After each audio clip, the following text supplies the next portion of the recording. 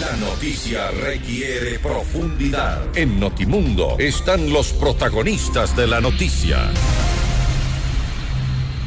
Saludamos a esta hora al ingeniero Enrique Pita, vicepresidente del Consejo Nacional Electoral, con quien vamos a abordar precisamente estos dos temas que nos ocupan, lo del Consejo de Participación Ciudadana, porque el CNE ya remitió a la Asamblea una lista de suplentes que deben principalizarse como consejeros luego de la decisión de la Asamblea Nacional. Y allí también hay novedades. Ya nos va a contar el ingeniero Pita y abordaremos el tema de la impresión de papeletas. Ingeniero, buenas noches, ¿cómo está? Buenas noches. Eh, un gusto enorme conversar con usted. A sus órdenes.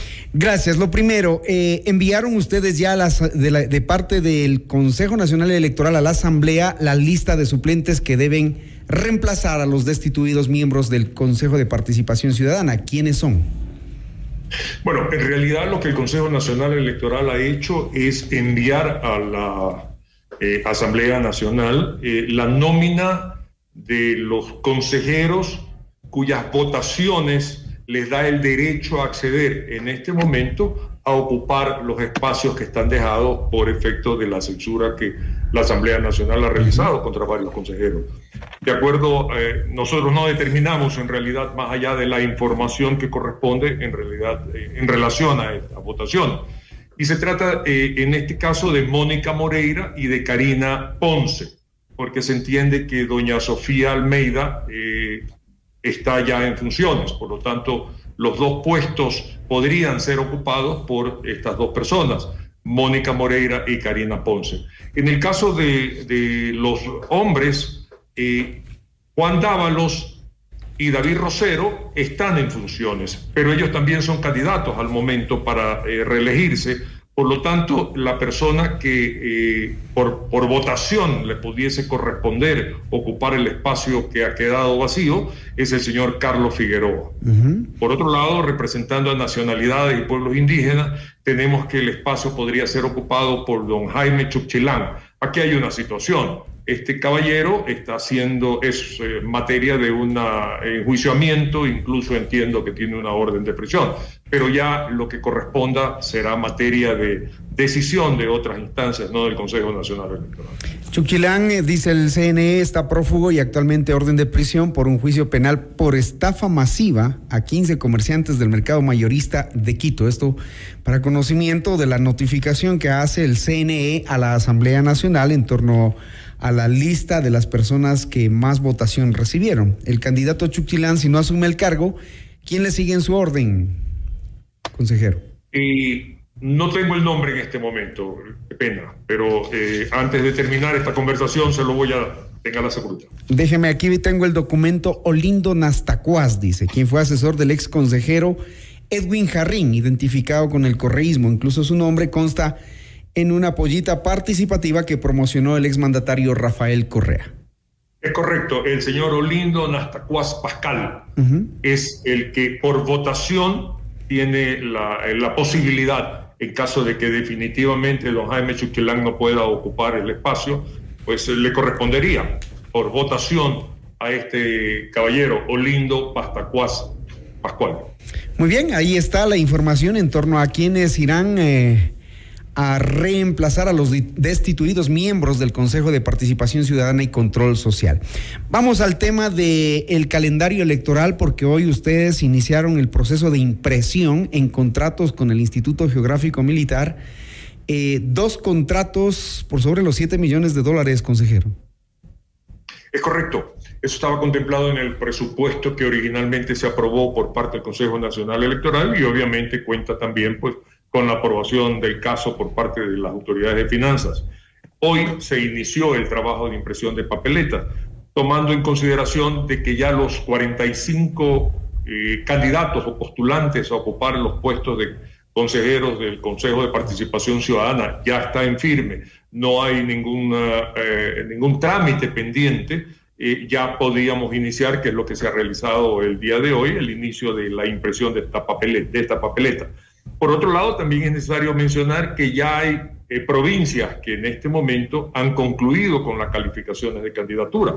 Por lo tanto, también ya una vez que se concluya esto, podemos nosotros disponer al Instituto Geográfico Militar y ya proceda también con la impresión pues, de papeletas a los candidatos de alcaldes, prefecto, eh, viceprefecto, concejales urbanos, rurales, según sea el caso. Más de 82 millones de papeletas serán las que se impriman.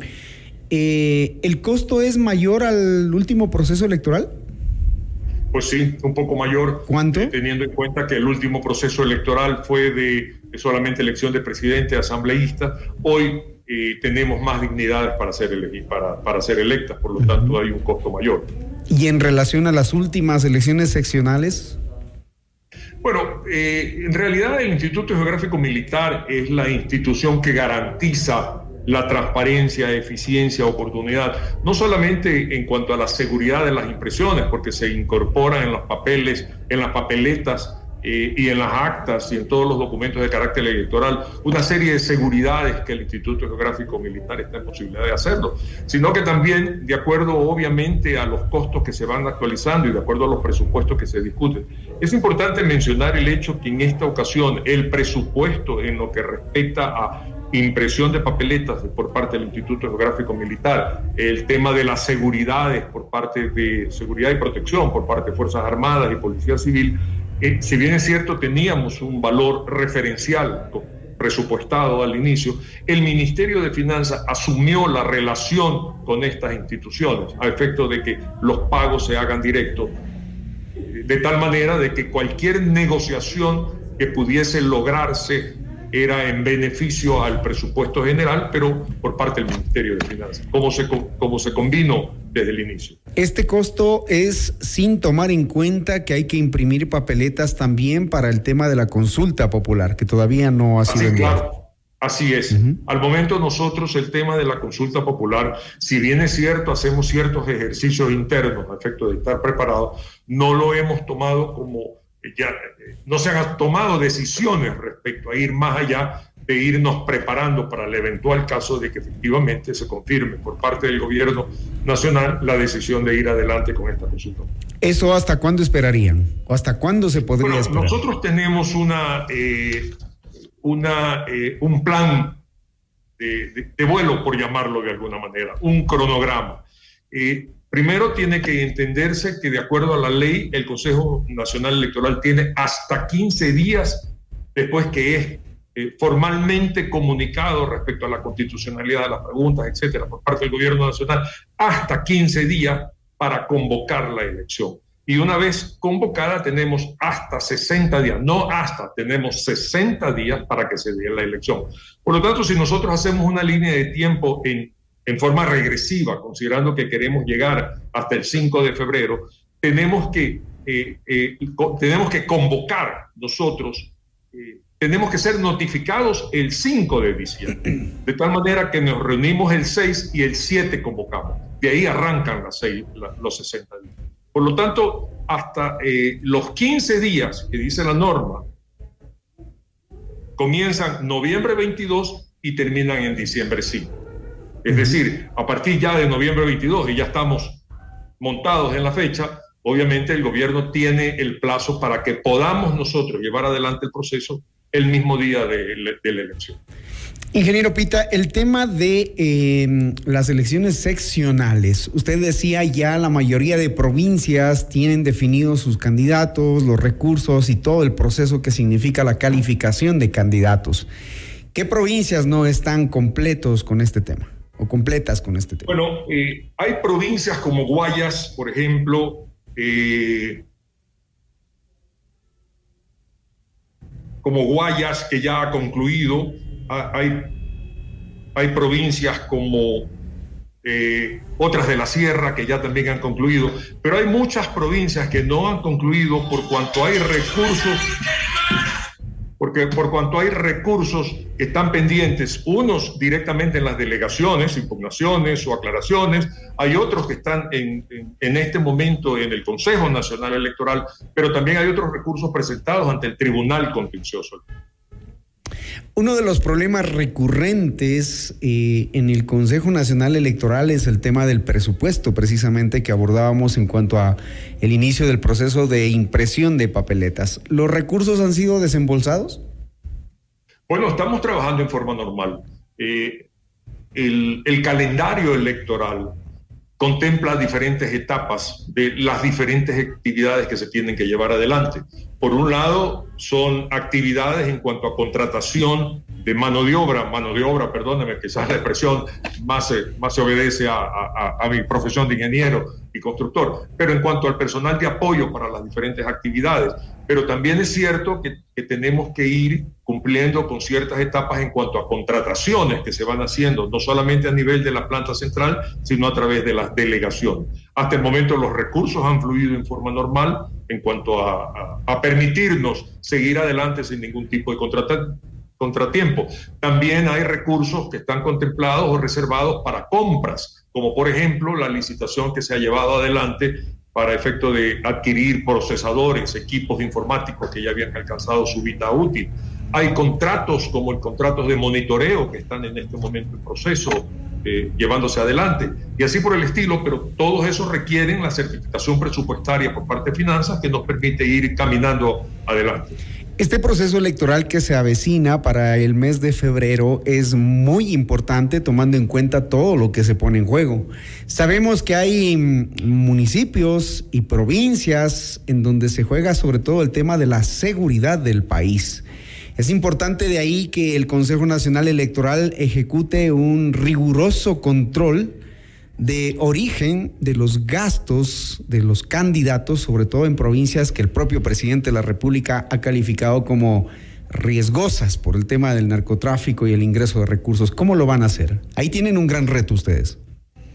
Permítame responderle algo que usted eh, me consultó hace un momento y que uh -huh. no tenía la claro respuesta que sí. y que ahora puedo compartirse. Por favor. Las provincias que ya han concluido con todo el trámite de inscripción de candidatura son Cañar, perdón, Bolívar, Carchi, Chimborazo, Esmeraldas, Galápagos, Guayas, Napo, Orellana, Santa Elena y Sucumbíos. Ya con esas provincias nosotros ya podemos iniciar la impresión de papeletas una vez que se concluya eh, eh, lo de que corresponde al Consejo de Participación Ciudadana. Ok, vale la en, en relación al tema de seguridad, eh, es claro que la obligación que tiene el Consejo Nacional Electoral es verificar el origen, destino de los recursos sobre la base de lo que está establecido en la norma y en las diferentes reglamentaciones. Los eh, responsables económicos de las organizaciones políticas y las alianzas tienen que reportarnos a nosotros todos los recursos que van eh, ellos eh, invirtiendo sobre la base de aportes que en un momento dado se puedan dar, so, sobre la base de los recursos que la organización política destina. Pero es claro que la preocupación que existe y que nosotros la venimos advirtiendo hace mucho rato es que pueda existir discursos, eh, perdón, recursos que se salen de este control. Uh -huh. es, es, es, claro que y la ley que queda en letra muerta. Perdón. Y la ley queda en letra muerta. Ya en el anterior periodo el consejero el Verde Soto público, hizo un informe de cómo estaba el narcotráfico invirtiendo en procesos electorales. Entiendo que usted recuerda eso, ¿verdad?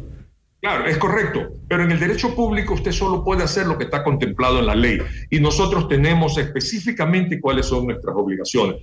Esa preocupación, que es nuestra también, debe ser una preocupación llevada adelante formalmente, obviamente por, por, por eh, quienes hacen el control de, este tipo de recursos, gobierno nacional, Fuerzas Armadas, este, fiscalías, es decir, tiene que haber junto con nosotros toda una especie de, supervisión y control para efecto de ir determinando que estos recursos no perturben la, transparencia de un proceso electoral, que, que, no son recursos que se utilizan lícitamente, ¿verdad? Porque pueden utilizarse para reforzar una candidatura en términos de no son recursos que se manejan a través de las cuentas formales, o pueden también recursos para desalentar eh, candidaturas el espejo para nosotros debe ser Colombia y México, donde estas situaciones se han.